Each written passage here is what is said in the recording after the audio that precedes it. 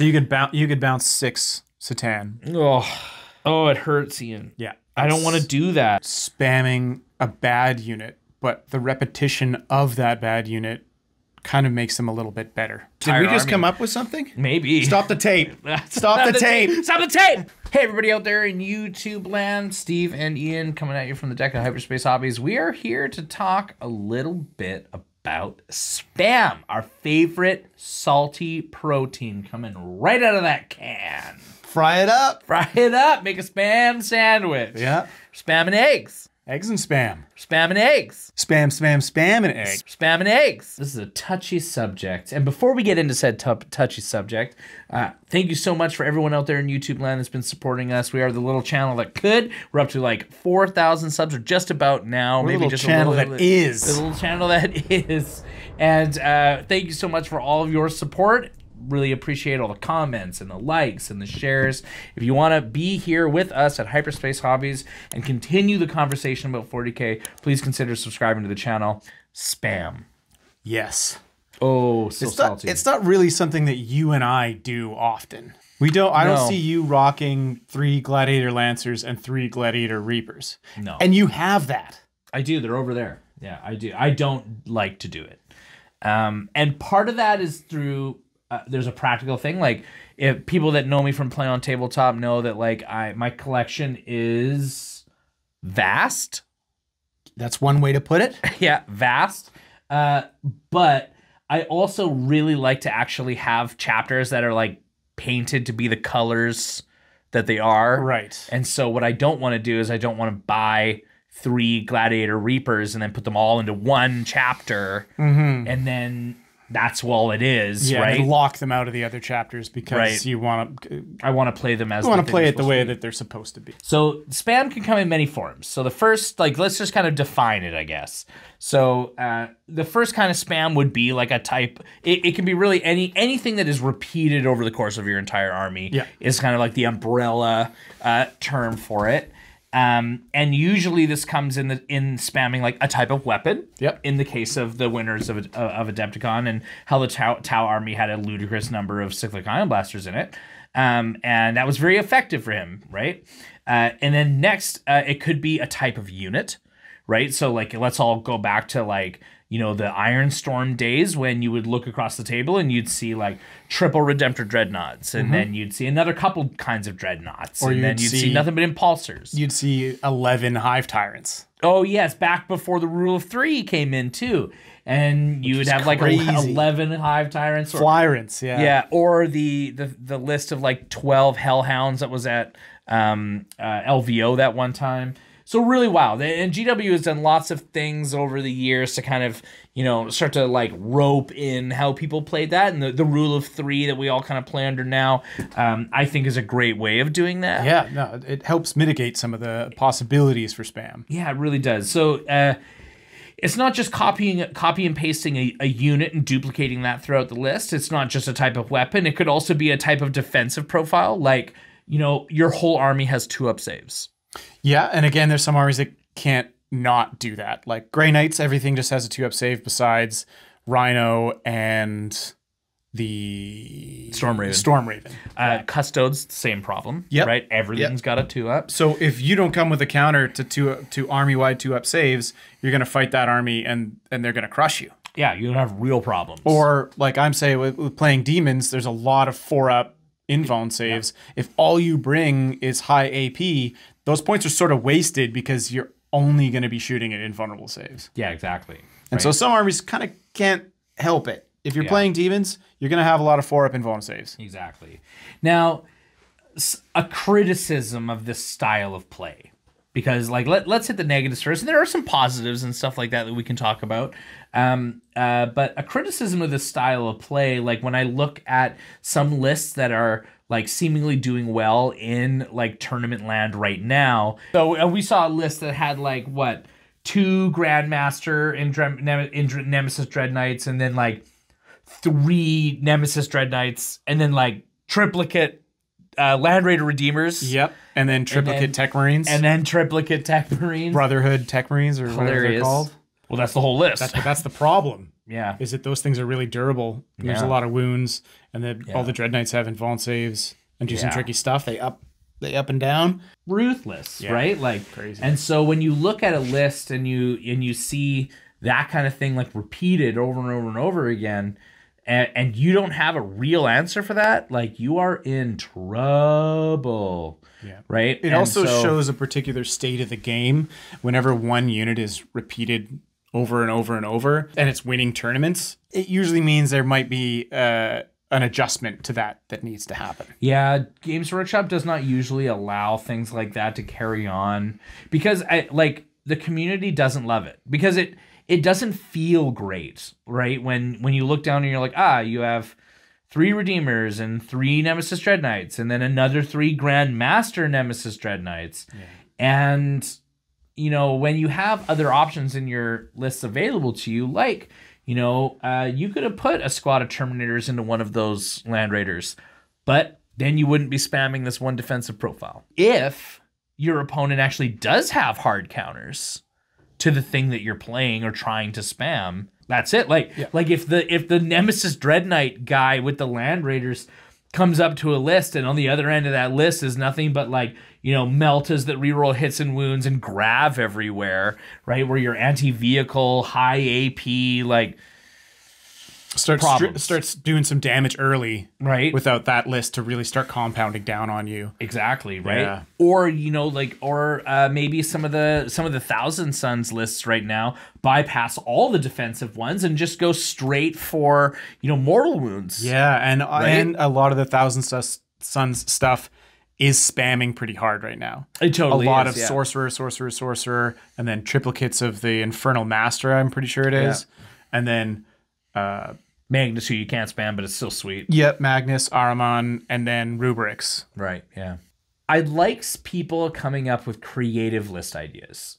And I like people, I like seeing people use, you know, models that maybe haven't been used in a while. Like, you know, 10th edition is the first edition where, uh, like, a Land Raider Redeemer was competitively viable Yeah. in some time. Right. Yep, So and it's actually really strong, it's really strong. and it gets really, really strong when you play three of them with three Tech Marines. Yes, and thus here is the issue, right? And and but conversely, so let's let's let's swing over to some of the positive sides because there's actually there are some positive sides to playing lists that are that are a little on the spammy side, right? So if you're in a tournament, and for those of us that maybe don't play tournaments, haven't experienced this yet, that's okay. But you know, trust me when I say if you are on your second or third day, right, of playing Warhammer, Yeah. I don't know if I would love a list that has all separate and different units.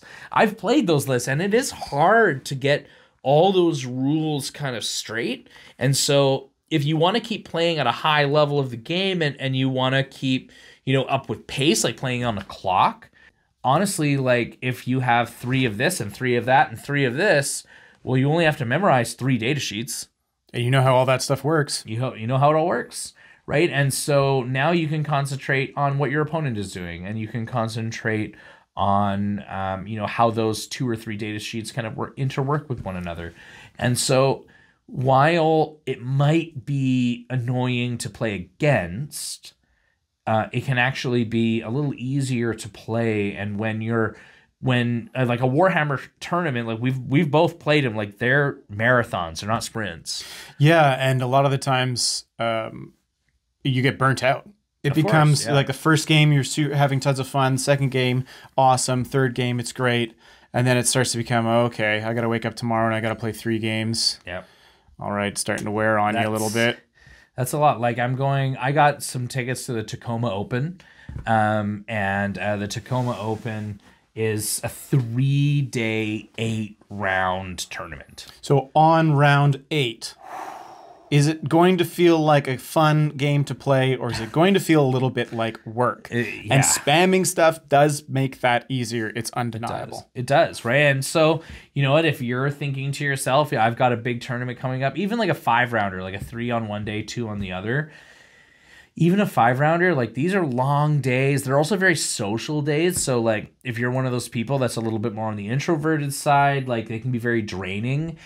And if you have less things to make decisions with or about, feels great. Mm-hmm. Right. Um, also, too, like you said, some stuff just can't avoid it at all. Yeah, and you can spam in more than just repetition of a single unit, like you were saying. You can repeat a rule or a gun Yeah. or an armor profile. There's lots of ways to kind of sneak in spam and get either defensive or offensive style of spamming a particular thing. Yeah. Like spamming a rule could be every time I charge, I do mortal wounds, like the uh, Brutalis Dread, the Assault Marines, the Chaplain does it when he triggers on Yeah. close combat, and all that stuff starts compounding these mortal wounds in a particular style. And that can be sort of a spam in a way, but it's sort of hidden under the guise of playing separate units. They all sort of do the same thing. Yeah. It's a bit of a controversial like subject because I know how it feels when you walk up to a, to a table and you look across the table and you see that the player that you're playing against has just spammed like what are what are probably going to be the best units in the codex. They have it's not like they're spamming Reivers from the Space Marine Codex and you have a problem with it. it it's usually, oh, I'm spamming triplicate Grandmaster Nemesis Dread Knights. I'm also spamming three Nemesis Dread Knights and then three Land Raider Redeemers. And that is going to be my bonkers list, right? Because those are the three best data sheets in the Codex. So that's what we're going to spam. And, um, and so that I think is what actually gets people like kind of gets their spines up a little bit. Do you know what I mean? What about the opposite? What about spamming a bad unit, but the repetition of that bad unit kind of makes them a little bit better? Speaking socially, I, I think that I would find it an easier pill to swallow. Like, let's say I spam Plague Bears and I just play six units of 10 Plague Bears. They're T5, 2 wound, 5 up, invulnerable save. I wouldn't say it's a bad unit, but it's definitely not as amazing unit as you could be playing. Of course, but And- because there's so much of them now, Yeah, that's now that's- they become it flips Yeah. from them being not so good, a single squad of them not so great, but all of a sudden six squads of them, and your army can't do the output for you to survive. Okay, hold on. I have an interesting question for you because the option that you just said there, I don't know if I would actually call that spam. So is And- spam dependent on how good the unit is? maybe or maybe what role it fits into because the the the example that you just used was a battle line unit So some units can kind of get can get under the radar of being a spammed unit. i feel like Because you also play you could also play that under the guise of it's a fluff army, and then all the rest of your stuff could be all Yes. Nurgle as well. That's totally that's totally true i think i would feel like you know because there it doesn't it doesn't feel like you're trying to do something uh, if I walk up to a table and the guy's got six squads of orc boys, I'm never like, well, man, the spam of these orc boys is gonna be like it. I think I think maybe that where the feeling get feelings get bad is definitely dependent on how good that unit is. Okay. I think that's really where where it comes All down to. You've circled around to it. I, I would have to agree. Yeah. Yep. Yeah. So if it is the best thing in your codex and you take three of them, that's spam. Yeah. Good old fashioned spam. But if it's crud and spamming it makes it really good, It's not as it's not as bad. Not as Doesn't bad. feel as bad. that okay. Okay, What- so I you love the diversity in lists for the I love most part. diversity in lists. Yeah.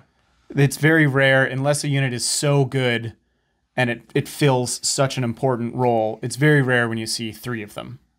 In my lists, Yeah. oh, almost never. Yeah. Yeah. Even if they're really good, I will usually only play one or two of them tops. Right. right very rarely do i i really triple down like it's yeah it's so actually i like i don't think of a list i cannot think of a list in 10th edition that i have played that has three of something I think you played three scouts, three squads of scouts, oh yeah back when they were fi- back when they were 55, 55 points. points. Yeah. yeah i play i tested a list out that had three of them for a little while Yeah. but uh, but i mean again though i don't know if i'd call that spam We're, That's we're- only 106. But this is a good conversation to have because, like, what actually is spam? Yeah, profile profile dependent is It's prof- spam it is. is. about. It's really profile dependent, and how strong and how how hard those things hit really really matters. But I mean, in that same regard, how strong something is, how durable something is, is all just how it affects the game. Yeah. And the, and 55 point scouts affect the game in a huge way. Yeah. So I think their special ability is super good. Now, if you played three squads of scouts and then you played other units that went up and down. Calidus Assassin could be another example. Yep, and you mentioned Shrike, Uh, Shrike Shrike in a unit. if you did all of that, would that become spam? Even then, I'm not sure because it's a rule that doesn't fully affect. It doesn't kick my butt yeah, and force me to make bad say like bad Yeah, rolls and yeah. bad decisions. It essentially just forces me to try to screen you out in a weird way. I think it really does. I think it is really dependent on how durable the unit is and how forceful it can be on the tabletop, right? Um, and maybe if the rule got so annoying, like if literally everything in your army like uppy downy and have that not actually be your detachment rule, like hypercrypt, for example. Yeah. Right. Like, but like actually, if your whole army somehow had like, if you were able to get as many, because you could do it with the with the Raven Guard detachment, you could have three units of scouts, it's Calidus Assassin, Shrike, and five things could blip up and down, which is way more than hypercrypt could ever do. Yeah, Hypercrypt Right? can do four. It can do four, Yeah. but then you can spend one CP and you can bring out two Phobos units too. So Mm-hmm. you could actually, it, if you really tried, I bet you could even. I bet you there's something that does even more. So you can like blip seven and like redeploy your entire. Did we just army. come up with something? Maybe Stop the tape. Stop the tape. Stop the tape. Do you think that spam is healthy for the game? no, but also kind of yes. Okay. The reason why I would say spam is not good for the game is because it can just make for bad feels on the tabletop. And I want to try to play games competitively with uh, whatever stuff I want to play. But what it helps to do is highlight particular units that are maybe too good in the game already and need to be addressed. So if Games Workshop sees a list and there's all these spammed units, they can go, okay, maybe we have to take a closer look at that. Yeah. So not only is it anno- it can be annoying on the tabletop, not all the time, but sometimes it can be really annoying on the tabletop. Yeah. It's also a waving red flag that maybe this needs to be looked at again. The the jig is up Yeah. as soon as you start doing that stuff. Yeah, like there's a list. So the Wet Coast GT is coming up soon. I don't know whose list it is, but it is absolutely running six C'tan. It's three Transcendent C'tan, and then the the Dragon one, and Void then Dragon. Void Dragon, and then the Night one, Nightbringer and then the yeah, Deceiver. and then the Deceiver one. Yeah, so there are like six C'tan. Like I would be so beside myself on what I was really what I, and I'm pretty sure it's Hypercrypt too, so they can all bounce in and out. well, the transcendence can already do that. Yeah, so then they can all bounce, and then the other ones can bounce too. I'm pretty sure. So you could bounce you could bounce six C'tan. Oh, oh, it hurts, Ian. Yeah. I don't want to do that. that's like, rough. That's rough. So, like, that's I like. I could totally see them making a transcendent C'tan just an epic hero, so you can only have one of them. Yep. I could totally see them upping the price tag on all of them because of things like that. Yeah. The C'tan are waving the red flags. Yeah. Right. But they're they're the thing is a lot of people are just playing the Void Dragon and the Nightbringer, Yeah. Those Which- are both good. which like you're only playing two C'tan shards. I see a lot of lists with two C'tan shards. yeah. It doesn't really fall into spam if you're just playing two. No, but I but I don't see any lists that have less than two. Like they're one of those things that's oh, like if you're playing Necrons, like you you got to play at least two C'tan Yeah. because they're so good for like they're so efficient for There's, what they do. there's some Canoptek Court lists that can get away with not doing it. Oh right, because you but but but the reason that they can get away with not doing it is because they also have 18 wraiths all with feel no pain, Which is brutal spam. ruthless spam, right? So like it, they can get away with not spamming or or bringing these things only because they're spamming something that is already wildly durable. I wonder how many times we've said spam. Thank you guys so much for watching. We really appreciate it. And please give us a like and a subscribe. See you later from Hyperspace Hobbies. Bye.